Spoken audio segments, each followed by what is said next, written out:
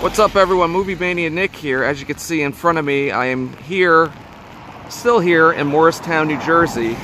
Uh, this building here is called Acorn Hall. And you guys can read about this right here.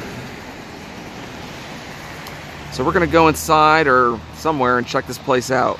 Acorn Hall, we're the Morris County Historical Society at Acorn Hall. Uh, we were founded in 1950s and in 1971 Mary Crane Hone, the last surviving relative of the Crane Hone family who lived here for five generations, gave this hall to the Morris County Historical Society, so there became the Morris County Historical Society at Acorn Hall. Um, so Acorn Hall was originally built in 1856, um, and it didn't look like this originally. It was just this main building without the tower, without the dining room wing, no porches and decorations. It's a much plainer house the Georgian four square, four rooms on the bottom, four on, on top, hence the name. Um, and then um, it was built by the Schermerhorns, Dr. Peter and his wife Louisa Schermerhorn. Um, they already had one child and they, uh, they came out here because the doctor was having some lung trouble and he was getting into the country. He also had a friend next door, John Hone, who sold him the land to build this house. And that was like his connection to the community. So he tried to, um, he, they stayed here only a few years because it basically became a family tragedy. Uh, his wife died, uh, his second daughter died shortly after being born, and then his wife died shortly after giving birth to their third child. Mm. So he tried to make it work for a few years out here, but ultimately he felt it was better for his daughters to move back to the city, so he moved in next door to his sister-in-law she helped raise his children, and there he stayed. Um, and when he sold this house to Augustus Crane, um, he sold many of the contents. So we have some rooms that are very original to the 1856 first um, iteration of the house that stayed all the way through to the 1970s when Mary Crane Hone ceded the house over to the Historical Society. Um, see here, it's trompe paneling you'll see this pattern kind of throughout the house. There's lots of trompe l'oeil. Is that the like the original or is it? This, this was the original from Augustus. So okay. the Schermerhorn's original front door would have been here. When Augustus took over the house by 1860, he added the tower. He added all these porch areas. He added the dining room wing. He extended the roof line and he added the porches on the back. Um, and he came out here with his wife, Mary Bowles Crane. He had two daughters and two sons. Both his sons were as Augustus Jr. and um, Benjamin. They were both out uh, at military academy at that point. Um, his daughters, one stayed here, one was in music school in, in New York City. So he came out here to be a gentleman farmer. Um, he also had recently come into some inheritance and he put a lot of work into this house, but then he realized that with the uh, with the overhead that he was putting into the house, he was going to need more income. So he also okay. took on directorships of local banks. Um, like there's more people at the door. Who you're here to see was going to be available. Okay. Calling card, which would give your name and your address and the days you were available, uh, and, and then there's social circles. I don't know if you know much about it. Like you wouldn't, you know, you didn't have a phone or anything, so you would just have a day where you were home, and then on the days where you were visiting, you would go around to people, kind of say hi, stay for maybe half an hour or so, and then we would go to your next visit, and that okay. was the way people um, social networked. Uh, we're gonna go a little bit out of order, so we'll go the library okay. first.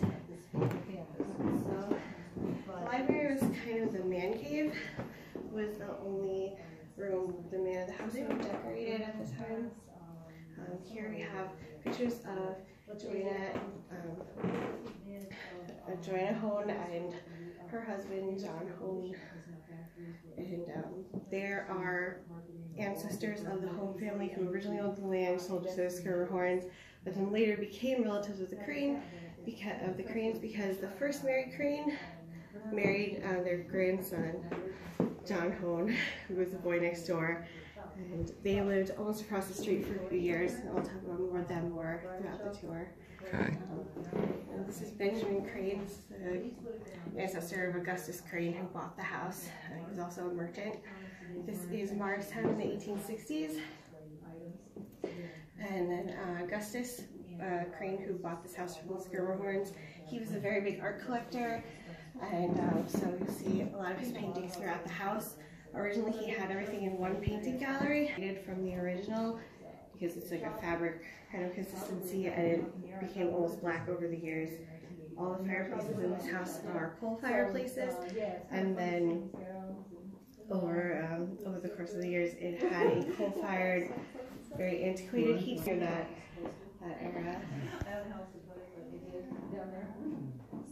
Very antique. to the dining room wing, which was built by Augustus Crane in the 1860s. Um, this is not the original look of the room. There was only this bay window at the time, and then in the 30s, Alice Castleman here put in the window. There was actually an organ there, which was donated to a local church. She wanted a window, and she got it. So the organ was like right here? Um, the organ was right here where this little organ is. Um, there's actually a picture here on the little organ. So oh, this right. is the original organ setup. It was a very musical family, and um, in keeping with the like long Victorian feast, where you'd have like a five-hour meal, you would Mhm. pull away the table and have dancing, and then come back and eat some more. So this was Very donated nice. to a local church, and then this window was put in. This organ that we have, the Mason Hamlin organ, it is period accurate, but it's uh, it's not original to the family. He is the one who bought the house from the Schermerhorns and and uh, added this wing and really changed the look of the house to the Victorian Italian that you see now. Hmm. He bought this fireplace from Italy. This is his sideboard and his table. And you'll see the fruit pattern that's on the sideboard. And it's also underneath the table. Let's go back to the tablecloth to show you. It's kind of hard to see, I guess, for the camera, but um, see how What- ornate it was. whatever I can get. Yeah. and there are two more leaves that There make this go. table fit 12 people. Because until then, the, the children of Augustus Crane were living here. And they didn't really change anything. Was Julia and her husband, some of his uh, students or wards, and they were still, and also her brother Benjamin, they were still living with an outhouse, no running water, and the place is very green.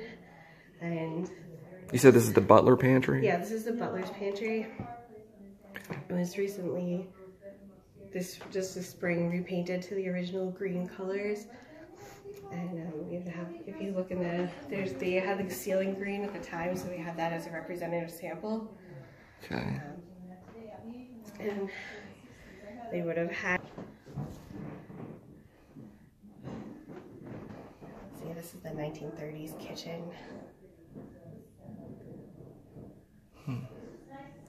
Until then, it was just a wood-fired stove in the basement. No. These were done in the 80s. The artist made the panels and then applied in, in his uh, workshop and then brought them here and applied them. So it gives the, I don't know how convincing it is, but it gives the look of the marble paneling on the wall. Okay. Um, so this um, elevator was put in in the 30s for Augustus III. He was Alice Castleman's husband and the father of Mary Crane Hone. He had a heart condition, so the stairs were very difficult for him. And uh, when we visit the parlors, you'll see that the mirrors are also a very prominent part of the house. Um, originally, the light was either kerosene or whale oil, so it was a lot dimmer. Um, this is the original wallpaper, so you can see how how much pollution has made it dirty over the years. Yeah. Um, but if you look up at like the top corners where the top border is pulling away, you'll see how bright the blue originally was. And uh, it matches, you'll see it matches the, uh, the furniture much better. And it's actually two sets of furniture that are painted to look like one. And we think this was purchased for the two crane girls when they were when they were here. So um, at that time, you would have shared a bed with your sister or your, your brother in the Industrial Revolution, and the effects of that in uh, in what was really a middle class home at the time. Um, So we also think that possibly once Mary Crane. He's a Navy captain. He's the son of, um, he was the brother of uh, Alice Castleman, and their father was Brigadier General Breckinridge, John Breckinridge Castleman, who was not only a Confederate captain in the Civil War, but went on to serve in the U.S. Army and even was a military governor of Puerto Rico. Um, he, this is his son. He was had a wartime promotion to lieutenant, and then was later promoted to captain. One of his promotions is signed by Theodore Roosevelt, and uh, we like to say kind of that Alice and, uh, and her brother. Uh, it's definitely meant for a much larger home. This is from her mother's home in Kentucky. When they moved to here, they brought 42 crates of furniture. Um, this separates into three pieces. And you can see the original master bedroom. And you can see the furniture matches the sideboard and table from downstairs. Um, the bulging furniture. Oh yeah. It fell off the mirror here, but um, we have the original carpet. You can see in the corners how how vibrant it originally was. Um, people usually remark on the smallness of the bed. Uh, and, and, these two girls are actually, these are the two Schermerhorn girls who lived here only a very short time. But, um, you know, they grew up and they, they grew up, they went on to have good lives. Um, so this room had some leakage from the, from the chimney, but uh, all the cracks seem to be stable now. So that's what those little that's so. This is the the original wallpaper. Um, it's actually paper that's applied to the wall, and then the stamps are stamped on afterwards. It's an aluminum stamped opulent marble downstairs because guests don't come up here, only family.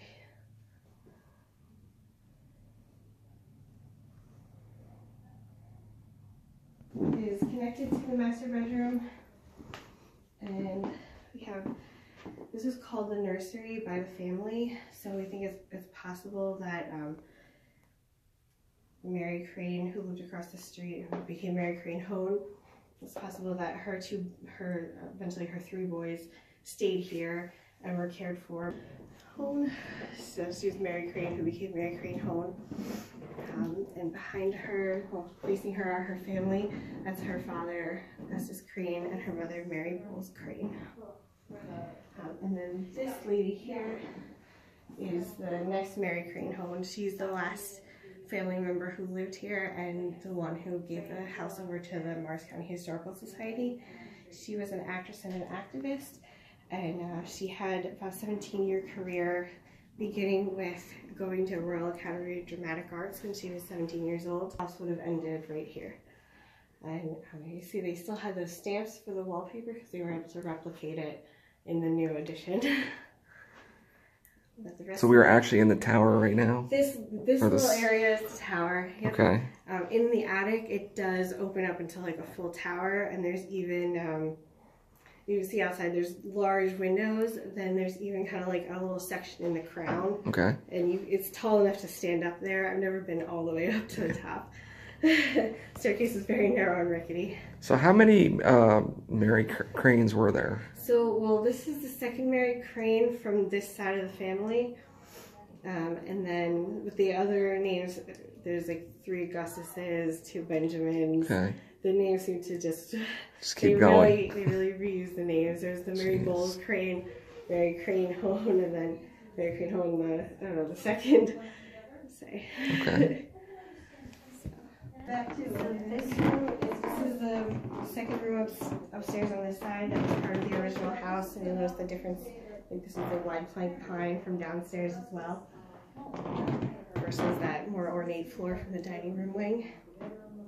And uh, right now we have a medical exhibit on Morris County uh, medical history, hospitals, and then uh, I don't know if you're from the area, if you've heard of Greystone no, uh, no, I have so not. It was, um, it was a mental hospital in, it was now Morris Plains. Okay. And uh, it, be, it, became very infamous, and then it was abandoned for, the, the oldest buildings were abandoned for many years and became like, was, we cannot prove for sure, but this is originally, allegedly from uh, Arnold's Tavern, which became All Souls Hospital, and Arnold's Tavern dates back to Revolutionary War where Jeez. Washington supposedly stayed there, but you know, it's all it's all anecdotal. We can't say 100% that happened, but that's the story behind this mantle. Um, and then this is the original Morristown Hospital building, which um, Arnold's Tavern became this.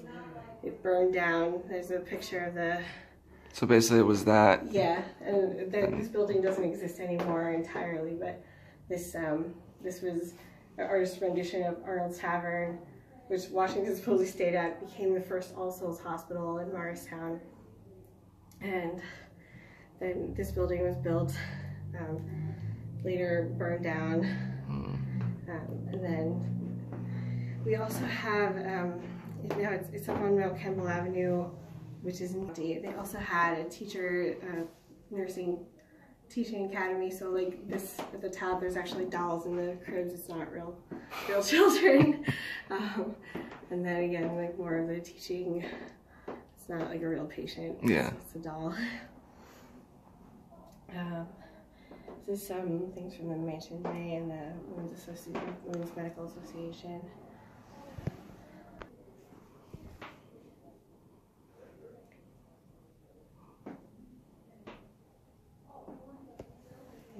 And all became nurses and were all trained there.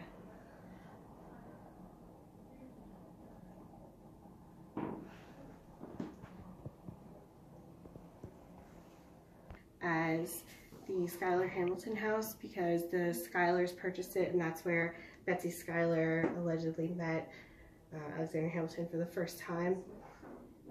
So, uh, but it, it was originally built by Dr. Campfield, who was the first doctor in Morris County, and that's why it has these two names: it's the Campfield House and Schuyler Hamilton House. Is that the one that's across, um, around the corner, Uh, further down? I believe so.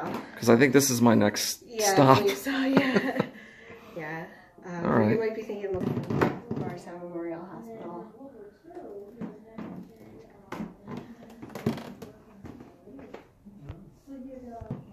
We have most of the memorabilia from Greystone Park, uh, which is really called Greystone Lunatic Asylum.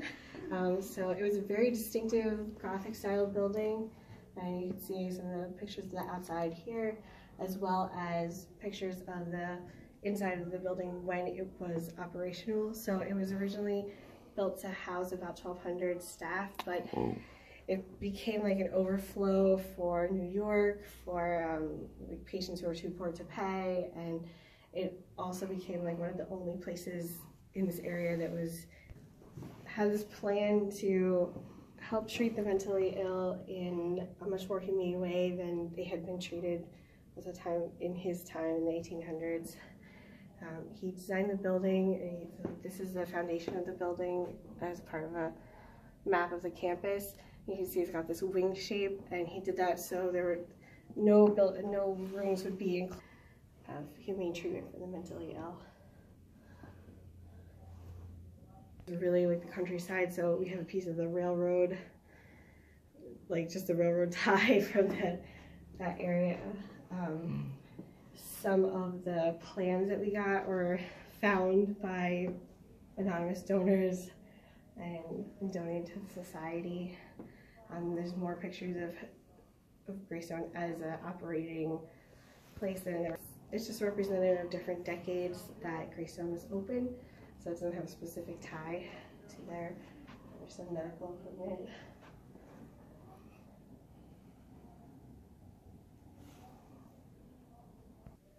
You would sit in a chair with just your head sticking out of that cabinet, and you would have like warm steam circulating around you. They thought that that like direct heat to the lungs and the chest would help heal. This is a list of items used by the kitchen of Greystone, and another uh, plan for part of the building.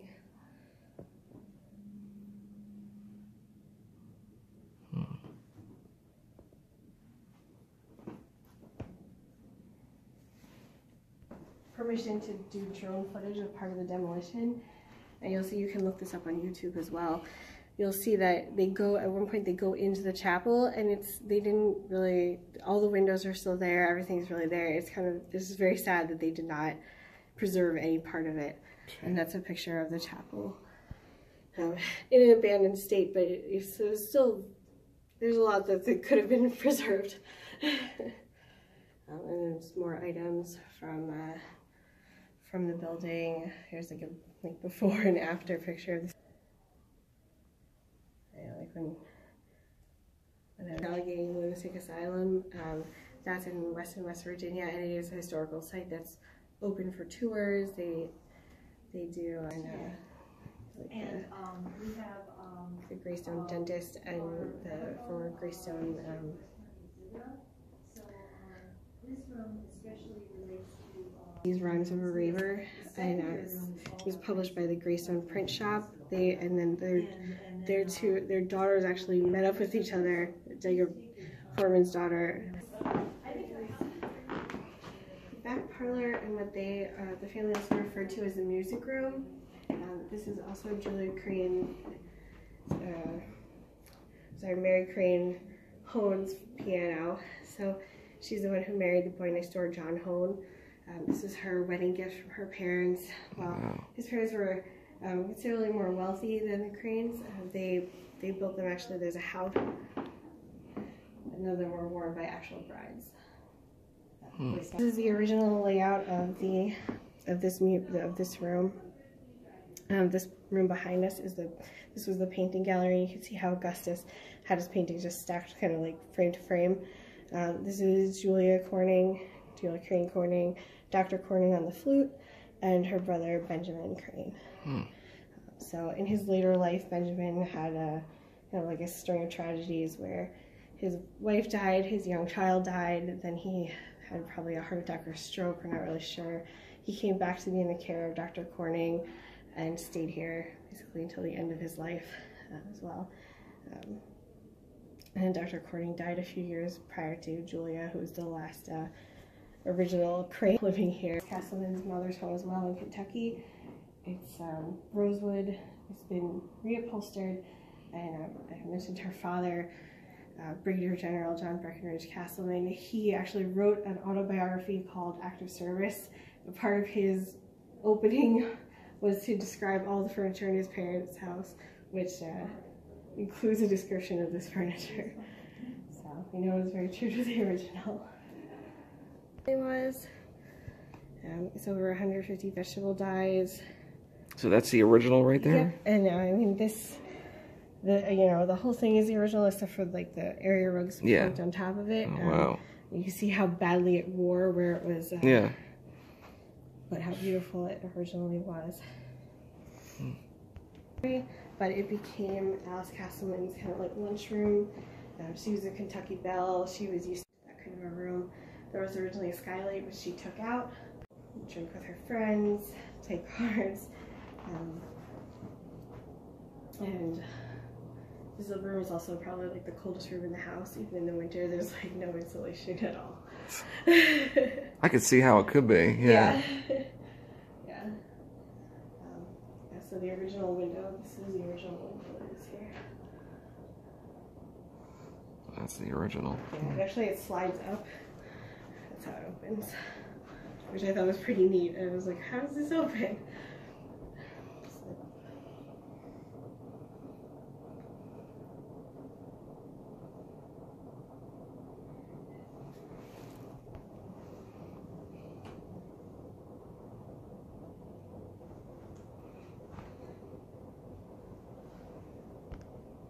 It's actually, um, this would have been the room where you would come in and sit if you were going to be visiting with the lady or gentleman of the house. And you would have been served coffee or tea. You would have stayed only maybe about half an hour to 45 minutes. For women, it was considered the only way to make friends. Men were supposed to make friends while they were doing business. and, um, and um, men also were allowed to have visitors on Sundays, where women weren't because they were just so busy working all the time. So um, these, the wallpaper, the painting, um, almost all original. The ceiling has been repainted based on the trompe l'oeil that was found under paint during restoration in the 70s and 80s. Um, this, uh, this the medallions above the chandeliers are supposed to, they catch the soot and stop it from spreading all over the ceiling, so it's a little easier to keep clean. Um, these lamps are actually reproduction gas lamps um, or oil lamps This one was never electrified, although there's wires in the ceiling. Um, they only did that one for some reason. Okay. Um, this is the original fireplace. Uh, it was coal burning. All the fireplaces are coal burning. Um, it's the original mirror, which is an amazing condition. Wow. And the cornices, the drapes, and the curtains, those are original. The shades are mostly a little newer. But um, the velvet on the walls, the trim, all that, that is original the house. And the electricity was added in the 30s. I like the candles, sticks back there, Oh, yeah, and the clock. The candlesticks, actually, they um, they match ones that were in the dining room. Uh, if you want to go back and look at those again too, we can. They actually they tell a story. It's Napoleon's favorite book, Paul and Virginia, and it's about these like two young children who are shipwrecked on an island where they meet the noble savage called the Savage, and they teach them to read. Furniture is original. It's, original. It's the Schermerhorn furniture that was sold to the Cranes, and um, that swatch of fabric on that couch behind you, that is the original fabric. Hmm. That's one of the last pieces we have left. Um, so you can see, like the the original one, it's a, little, it's not as kind of butter yellow as it, It's the- yeah, it's a little worn. but um, yeah. Uh, and then we, again, the, the corners here, the carpet has looks much better than than the middle of the floor for sure.